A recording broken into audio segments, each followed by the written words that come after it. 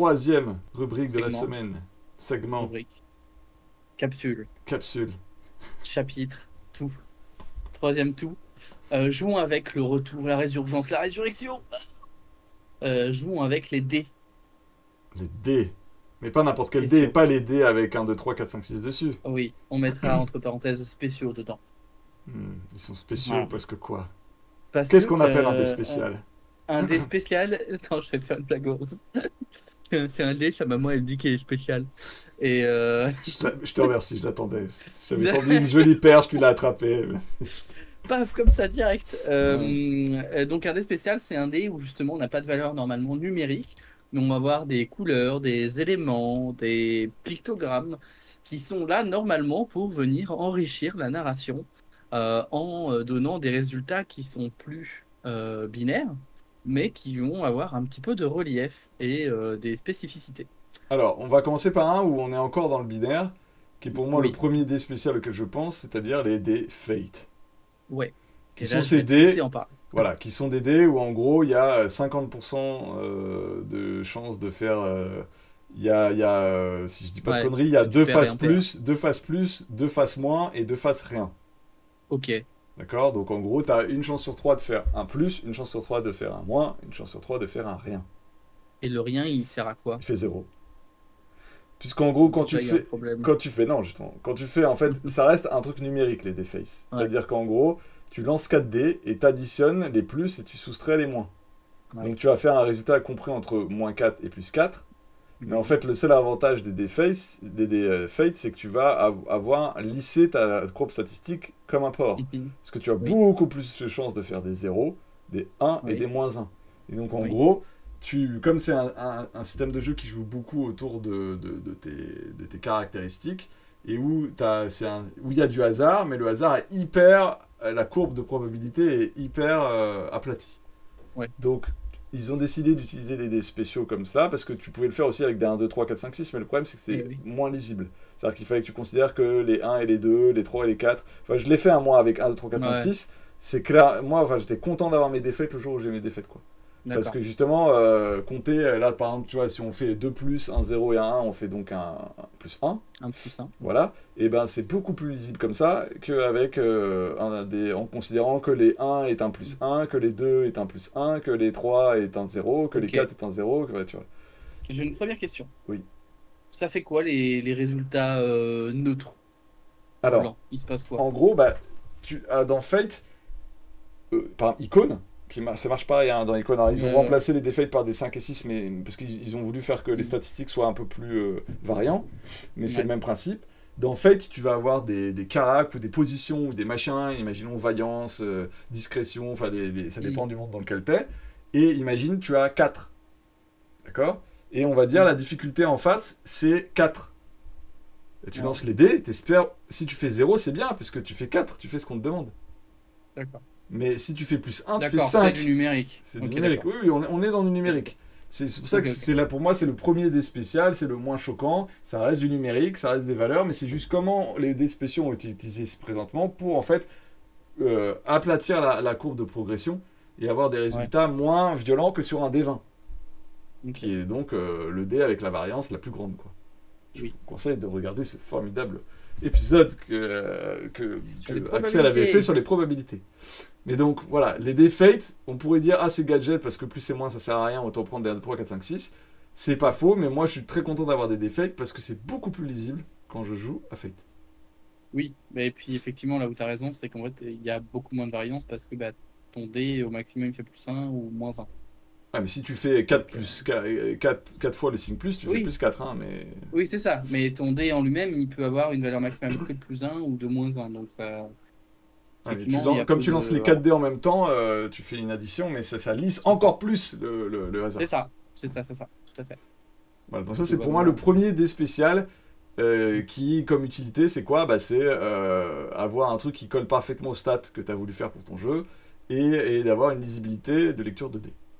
Et évidemment, quand on pense aux dés spéciaux, euh, moi le premier euh, jeu où j'ai eu vraiment des dés spéciaux Star très Wars. marqués, toi c'est Star Wars, mais moi c'est la même idée, c'est Warhammer V3. Ouais, Euh, c'est son qui- petit jumeau. son Ils sont petit jumeaux jumeau, tous les deux. C'est en gros blam Alors, tu vois, ça, ça, c'est les dés de, euh, de, de Warhammer. Hein, ils, sont, ils sont beaux, ils sont grands. Et il y a ceux de, de Star Wars qui sont ceux-ci. C'est Mais ça. c'est la même mêmes idée. Taille de dés, les mêmes. C'est le même bordel. Euh, et je ne sais pas comment ça se passait sur Warhammer V3, je ne l'ai pas testé, donc tu, tu pourras me le dire.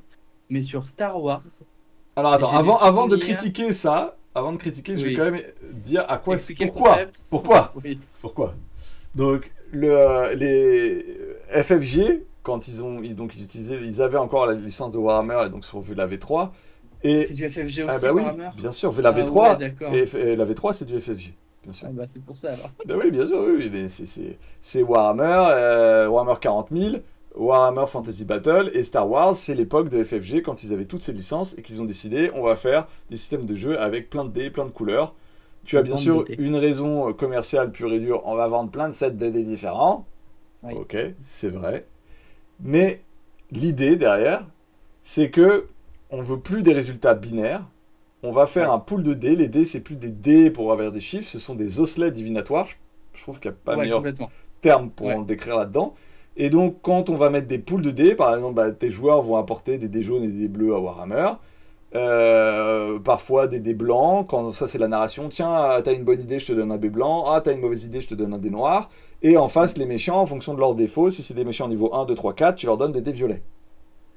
Tout ça, tu prends, blablabla, tu mélanges, tu lances, et donc tu vas obtenir des résultats qui varient.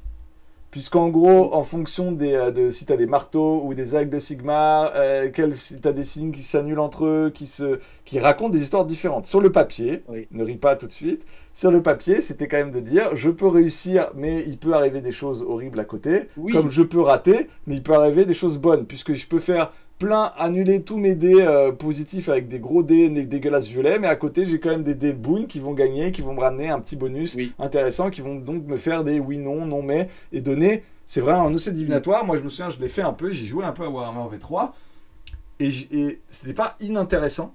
C'est-à-dire de prendre Non. tout ça, de mélanger, de regarder ces océans divinatoires et de dire, ok, je raconte une histoire par rapport à ces dés qui font jaillir une histoire. Ça, c'était la théorie.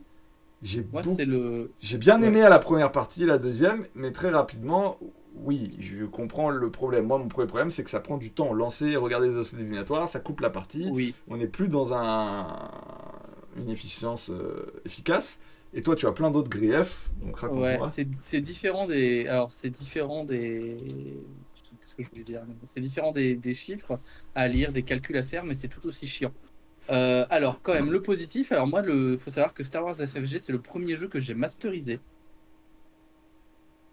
Et avec des dés spéciaux, ça donnait des résultats spéciaux. Voilà. Bon, bah, voilà. Je trouve ça cool parce qu'effectivement, tu as la notion de résultat et d'échec. Mais tu as aussi la notion de petits bonus ou malus narratifs qui viennent se rajouter là-dessus. Quand on sait comment Matt et moi on aime jouer, forcément on nous dit ça et moi j'ai dit mais c'est trop cool putain Évi- évidemment que je veux que ce soit bien. Il faut, voir que, que- moi, j'ai joué à la V3, j'avais jamais joué à Apocalypse World encore. hein. Ouais. Donc, c'est la, moi j'avais jamais joué à c'est ça. c'est la première fois où un jeu me proposait de raconter Oui. autre chose que euh, oui ou non. Donc, oui, le, sur le moment, quand j'ai vu ça, j'ai fait waouh, il se passe quelque chose, quoi. Tu vois Oui, pareil. Moi, j'ai trop kiffé. Je me suis dit, c'est trop bien et tout. Puis, bah, tu, tu, tu lances, t'as t'as ton personnage, puis t'as le, le méchant, puis tu te retrouves avec facilement des plus d'une dizaine de dés à lancer. Je pense que c'était pareil dans Warhammer V3. Et à lire, effectivement, il fallait, hop, savoir que tel su- résultat, c'est un succès. Puis, bah, tu peux avoir quand même deux succès et un truc sur le même dé. Il y a des, il y a des fois, tu as, deux symboles en même temps qui peuvent aller à l'encontre les uns des autres. Puis tu, tu lis tout ça, tu mets 4-5 minutes au début quand même. hein. Puis tu te rends compte que tu as un résultat qui est pas très exploitable. Tu as zéro succès, mais tu as 5-6 boons. Ou euh, bah, tu as plein de succès et plein d'échecs. Et en fait, ça donnait des résultats qui devenaient un peu, illisibles. Ou pire, tout s'annule. Et alors là, tu as, lancé 10 dés, paf, t'es content, rien. Alors, euh, Alors, dans Warhammer te dit V3, il y avait que- quand même des fiches de personnages qui faisaient que même si l'échec était. Même si ton, aff- ton, les dés qui décidaient du succès, de la réussite ou de, de Oui. l'échec disaient échec, mais tu avais sur ta fiche de personnage, si vous avez tant de boons, vous pouvez déclencher ça, si vous avez tant de ben, voilà ce qui se déclenche. oui. Donc il y avait quand même des... T'avais quand même un petit papier qui t'expliquait ce que tu faisais avec les dés. Tout quoi. à fait.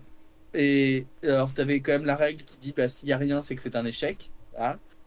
Ce qui manque un peu d'élégance quand on a ce système-là, à mon goût, mais bon, pourquoi pas.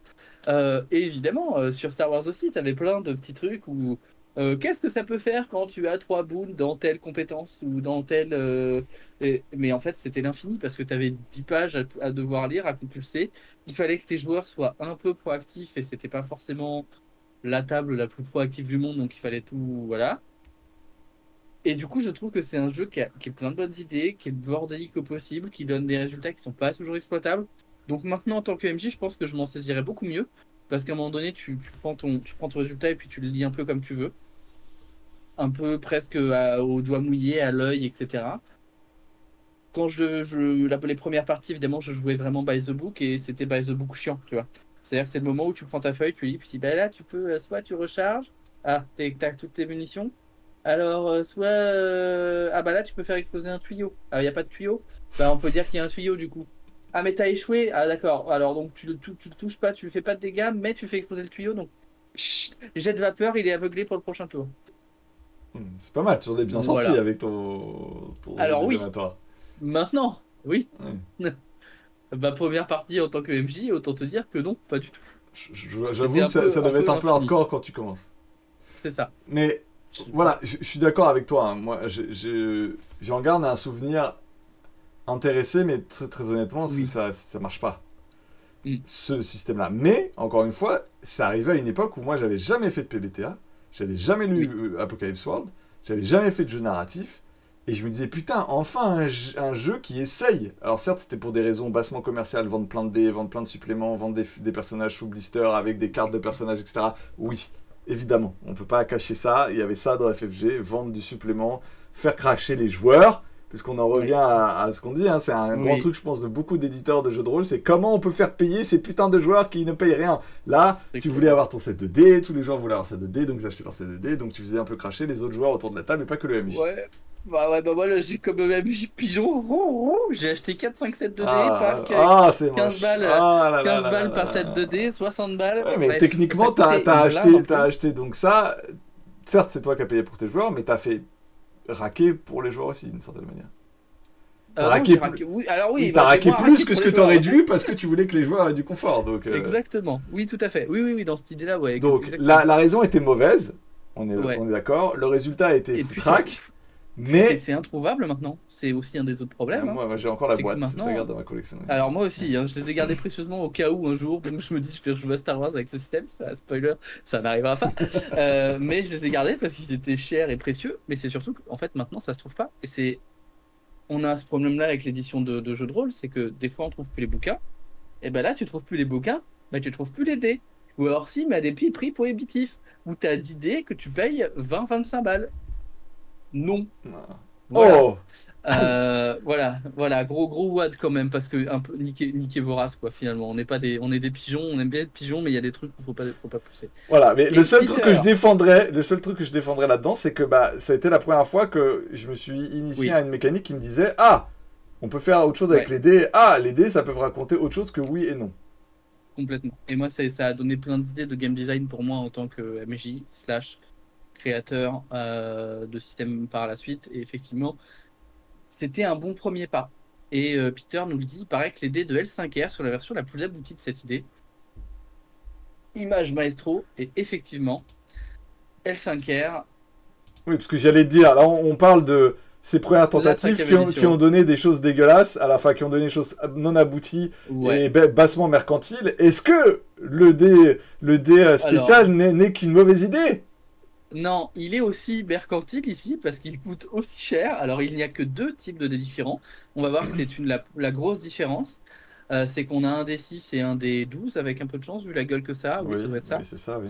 Euh, Et le système marche bien parce qu'il y a globalement, tu as 4 symboles à lire et plus euh, 18. Euh, c'est un peu moins, mais il y en a beaucoup. non, j'exagère. hein. Mais la variance est moindre. Euh, le, seul, le problème est visuel pour moi sur CD, c'est qu'il y a beaucoup de symboles qui se ressemblent. Bah, ils sont ronds. Hein. Les couleurs, les couleurs sont les mêmes. Ils sont et ronds et rouges. trucs, euh, voilà. Donc, oui, c'est. La, différence entre le Sharingan et le, et la petite, et le petit cercle, Voilà. j'avoue, c'est. Il y a, y a des trucs, tu sais comment le décrire, parce que tu as le Sharingan, effectivement, tu as le cercle qui se mord la queue, tu as la feuille, et puis tu as l'autre truc, là, sur le dé tout à gauche, Euh, l'espèce de, La- de la- cœur raté, on dirait que c'est moi qui l'ai dessiné. Ah merde, c'est dégueulasse. Ah oui, je l'avais pas vu. C'est une flamme. Voilà, spoiler, c'est une flamme. D'accord, parce que le euh, truc, ça fait penser au Triskel euh, ou alors au truc euh, de, de- du sud-ouest, tu vois. Mais, Oui, mais oui. c'est vrai que j'avais pas vu la flamme. Oh oui, elle est, elle est moche cette flamme. Oui, voilà, c'est une flamme, a priori, hein, si j'ai bien. flamme. Voilà. Euh, et le, mais le système fonctionne bien et il n'y a, pas de- y a pas de résultat neutre dans le sens où tu n'as que des réussites et des, des boons et des banes. Voilà. Donc ça veut dire que tu n'as pas de tu n'as pas de trucs qui vont venir annuler les réussites sur les mêmes dés. Déjà, ça c'est un gros plus parce que pour moi c'était un des gros défauts euh, du système FFG avant, c'est que tu pouvais avoir des, des trucs qui s'annulaient vraiment. Là, ça marche et puis tu as en fait surtout les les les, dés, euh, les les fleurs, les flammes, etc. qui vont être les boons et les banes. Euh, ils viennent pour dire comment se sent ton personnage et comment évolue sa psyché. Mhm. C'est-à-dire, est-ce qu'il monte en pression? Est-ce qu'il va avoir des petits avantages, etc. Comment se sent-il? Et donc, on a la réussite bassement mécanique qui va être le Sharingan et le cercle euh, de mémoire. Si je dis des bêtises, vous me direz hein, dans le chat. Ça fait longtemps que je n'ai pas joué à, la V5. Euh, et du coup, il y avait ces deux aspects différents, bien différenciés, et qui permettaient d'enrichir la narration sans l'alourdir outre mesure. En dehors du système de L5RV5, qui est une autre partie du problème, c'est un système très lourd, qui est plein de complexité, qui est très cool, moi j'aime beaucoup, mais euh, qui demande à savoir se laisser faire. Euh, en plus, on retrouve du coup. euh, Alors, par contre, du coup, ça rendait peut-être que les jeux FFG avant étaient plus faciles à émuler quand t'avais pas les dés. Là, c'est quasiment impossible, vu que tu as des symboles euh, différents, Mais antagonistes. T'en as en plusieurs sur la même, t'en as plusieurs sur la, la même face. face. Ouais, c'est compliqué. J'ai jamais essayé. En gros, quand je lance le dé, t'as donc les Sharingan et le, et le l'Ouroboros, c'est-à-dire le serpent qui se Ouais. mord la queue, c'est pour les échecs ou les réussites, et les autres, ça te Alors, permet. pour- Non, c'est que pour les réussites. C'est que pour les réussites face à un seuil. C'est-à-dire que si, si tu as autant que ton seuil, ça réussit B. Si tu as moins que ton seuil, ça rate. Et si tu as plus que ton seuil, ça réussit. Si tu as des fleurs de cerisier, ça va te donner des bonus. Mais ça va pouvoir, par exemple, dé- dé- dé- déclencher des techniques, euh, récupérer du stress, euh, des petits bonus mécaniques, mais aussi, euh, mais aussi narratifs. Par contre, si tu as des petites flammes, et ben, les petites flammes, elles vont faire monter ta tension interne. Qui est un des gros thèmes de L5R, c'est que euh, comment tu gères ton masque euh, social et comment tu gères tes émotions internes. Plutôt très cool. Et qui vont parfois te faire du coup péter des, péter, des câbles. D'accord, donc c'est Voilà. à la fois une, un dé qui sert à la fois en indication mécanique, mais aussi en, en indication RP. Oui, tout à fait. Tout à fait. Et c'est plus sans avoir forcément de. Tu as des listes hein, et tu peux vite t'en. En fait, c'est des listes qui sont surtout liées aux aspects et aux approches que prennent les joueurs. Et du coup, bah, c'est plus simple parce que tu as cinq, euh, t'as cinq approches. tu as le feu, l'eau, la terre, l'air et le vide. Et du coup, bah, tu as ces cinq approches. Et une fois que tu maîtrises un peu ces cinq approches, tu vas vite savoir comment tu te comportes. Ok. Et donc, simple, euh, quand, quand tu dois. C'est quoi C'est à toi de le jouer le RP ou tu peux complètement passer à côté et pas le faire euh Bah, en vrai, tu vas pas avoir trop le choix à des moments. Alors, tu peux complètement l'ignorer jusqu'au moment où tu atteins les valeurs, les valeurs seuil. Hmm. Euh, si ton drama interne, si ta jauge de tension, elle passe un seuil, bah, tu as, un craquage. C'est-à-dire que un peu à la manière de libreté, euh, quand il y a trop de pression, et ben là, on va te dire, bah, ok. Euh, et c'est un truc que tu as défini en amont, c'est comment tu craques, est-ce que tu t'enfuis, est-ce que tu as tendance à te battre, est-ce que tu as tendance à gueuler, etc. Euh, est-ce que tu te ronges les ongles? Est-ce que tu fais une grimace Voilà. Euh, et c'est là, que c'est là que ça intervient. Ok, donc Voilà.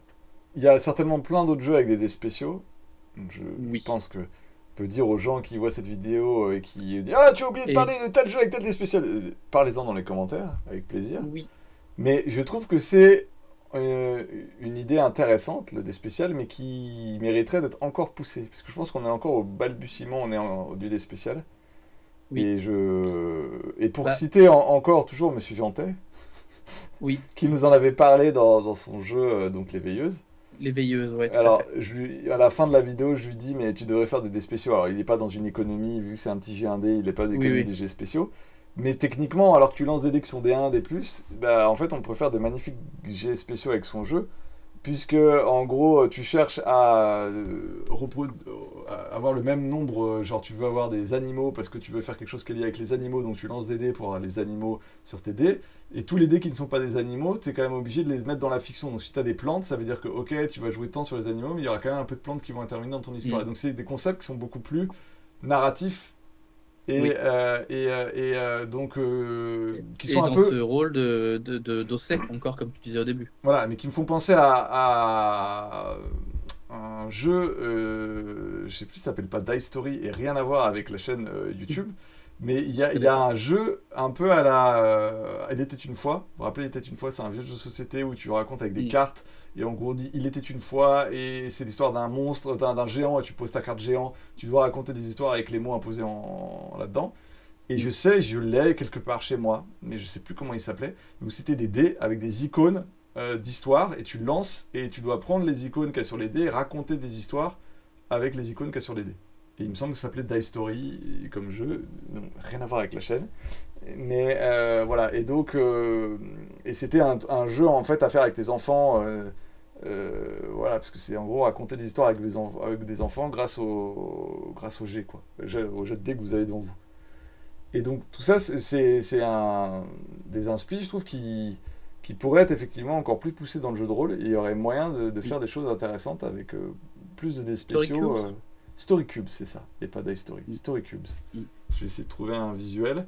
Mais voilà, donc Story Cubes, c'est pas du tout, du tout du JDR, hein, mm. c'est du jeu de même pas, oui, jeu de société, je sais pas si on peut faire ça. C'est euh, vraiment un truc, euh, c'est presque un peu euh, gadget, mais c'est un truc que je, pour jouer avec tes enfants. Quoi. Ouais, ça peut être chouette pour l'apéro ou avec les enfants, effectivement. Voilà, donc c'est c'est voilà, c'est pas du tout dans, dans l'esprit jeu de rôle, mais mais il y a vraiment ce truc dans, dans Story Cube du, du, du dé pour raconter des histoires.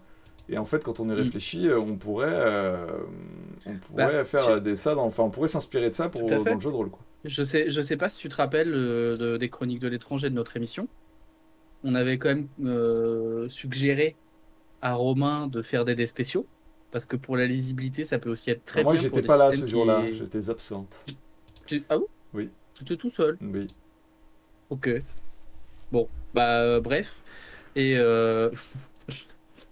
Et euh, on avait, il y avait eu suggestion de faire des dés spéciaux pour faciliter la lecture parce que le jeu peut être un peu complexe. Ça peut aussi être un vecteur de facilité, avoir des, éléments flammes, des éléments eau, des éléments terre, des éléments métaux, etc. Ça rend vachement plus facile et vachement plus lisible, sans chiffre donc avec ce côté. Et eh bien figure-toi qu'il l'a fait, alors pour lui, hein, pas euh, en termes d'économie d'échelle, mais il s'est fait ces dés spéciaux pour jouer et répartir sur ses diagrammes, etc. Et ça marche a priori hyper bien. Euh, et donc, je pense qu'effectivement, quand on a des jeux avec des thématiques fortes, le dé spécial peut venir en plus l'enrichir. Il y a le côté objet que tu manipules qui vient enrichir ce côté, ce côté fort, cette proposition forte. Et je pense qu'effectivement, on peut faire mieux, euh, on peut faire plus avec des dés spéciaux. Donc voilà, StoryCube, euh, hein, vous avez une petite image StoryCube. Ouais. Ah, c'est rigolo, ouais. Voilà, donc c'est Je sais qu'on avait parlé dans un autre vecteur, on avait parlé pour des gens avec des déficiences, avec Joli Rouge, avec Kian. Euh, tu peux faire avec des gommettes de couleur aussi. Complètement. Tu peux avoir des systèmes hyper simples avec des dés. Parce qu'on va éviter, on va virer paf, à, la benne les, chiffres qui font peur, euh, à la benne les calculs, à la benne tout ça. Et ben avec des, avec des gommettes de couleur, ça marche hyper bien. Je sais que c'est un des euh, chevals de bataille de Enzo, euh, donc l'auteur de Polescar. Oui. C'est-à-dire d'avoir un des jets de dés où quand tu lances les dés, euh, tu dois, ça doit être visuel, ça doit pas être du chiffre, mm. qui est donc qui, qui, parce que le chiffre compter des points, comprendre que ces points sont des chiffres, c'est culturellement mm. orienté. ça s'adresse à des gens qui ont déjà une connaissance de, de compter, par exemple. Donc il y a des enfants ou des gens effectivement qui n'ont pas cette, n'ont pas cet apprentissage-là, ils sont en dehors du coup. Euh, et, même le savoir de compter des points, etc., ça rentre dans une logique mentale particulière. Alors qu'effectivement, euh, des dessins, des icônes, des images, des couleurs, on est dans des lectures beaucoup plus. Euh, pas d'addition mathématique, on voit ce qu'il y a et paf, on prend ses osselets qui sont plus des dés, mets des osselets et on voit et on prend ce qu'ils font et daf et on joue avec quoi. Et tu peux carrément le faire aussi avec euh, le système FU, qui est le système où tu as des D6 et c'est euh, oui et, oui, euh, oui mais, euh, Oui, oui, non oui. mais, etc. etc. Et en fait, pareil, tu as des mots dessus et ça marche, ni, ça marche hyper bien.